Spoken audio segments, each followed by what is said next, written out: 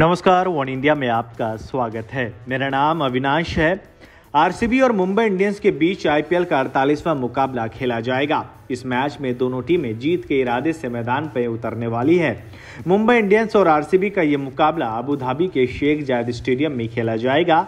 आपको बता दें, रोहित शर्मा और विराट कोहली की टीमें आमने सामने होंगी। भारत के दो दिग्गज खिलाड़ियों की टीमें आपस में टकराने वाली है और ये मैच दिलचस्प होगा। पिछली बार जब दोनों टीमें आपस में भिड़ी थी तो मुंबई इंडियंस को आरसीबी ने मैच में पटका था।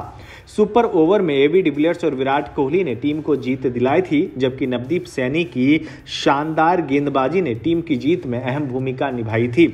ऐसे में मुंबई इंडियंस के पास इस मैच में बदला लेने का सुनहरा मौका है। वैसे भी जो टीम ये मुकाबला जीतेगी, वो प्लेऑफ में जगह बना लेगी, चाहे वो मुंबई जीते या फिर बेंगलोर की टीम। आपको बता दें, मुंबई को पिछले मैच में राजस्थान रॉयल्स से आठ विकेटों से हार का सामना करना पड़ा था। इस समय मुंबई इंडियंस के चौदह अंक है, वहीं विराट कोहली की अगुवाई वाली आरसीबी के भी चौदह अंक है। विराट कोहली की टीम को चेन्नई सुपर किंग्स के सामने हार का सामना करना पड़ा था, इसलिए जो भी टीम इस मुकाबले में जीत दर्ज करेगी, वो प्लेऑफ में जगह सुरक्षित कर लेगी। रोहित की फिटनेस चिंता का सबब बना हुआ है।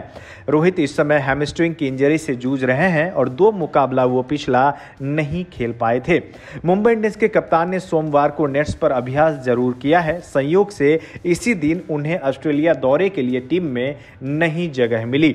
आरसीबी की तरफ़ से विराट कोहली ने सबसे ज़्यादा 415 रन बनाए हैं और अपनी शानदार फॉर्म को वो जारी रखना चाहेंगे। जबकि ओपनर बल्लेबाज आरन फिंच ने अब तक टूर्नामेंट में 236 रन बनाए हैं। वहीं देवदत्त पडिकल के नाम इस टूर्नामेंट में अब तक 343 रन दर्ज है। जबकि विस्फोटक बल्लेबाज एबी डिविलियर्स के नाम 324 रन दर्ज है और एबी डिविलियर्स अपनी शानदार फॉर्म को बरकरार रखना चाहेंगे। अगर आरसीबी के टॉप ऑर्डर के सभी बल्लेबाज योगदान देते हैं तो फिर मुंबई इंडियंस की टीम को परेशानी झेलनी पड़ सकती है। आरसीबी की टीम के लिए बुरी खबर है। नवदीप सैनी के चोटिल होने के कारण गेंदबाजी विभाग को लेकर सभी को परेशानी है।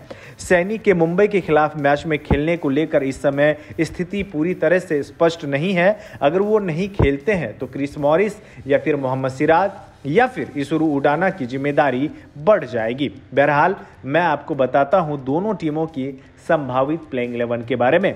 सबसे पहले मुंबई इंडियंस की playing eleven Quinton de Kock Saurabh Tiwari, Ishan Kishan Surya Kumar Yadav, Kieron Pollard Hardik Pandya, Krunal Pandya, Rahul Chahar, James Pattinson Trent Boult और जसप्रीत बुमराह। रोहित शर्मा अगर फिट हुए तो उनको मौका मिल सकता है। वहीं आरसीबी की team, Devdutt Padikkal, Aaron Finch, Virat Kohli, AB de Villiers Shivam Dube Gurkeerat Singh Mann, Isuru Udana, Chris Morris, Yuzvendra Chahal, Washington Sundar, Umesh Yadav या फिर मोहम्मद सिराज। इस खबर में बस इतना ही। तमाम अपडेट्स के लिए बने रहिए वन इंडिया के साथ।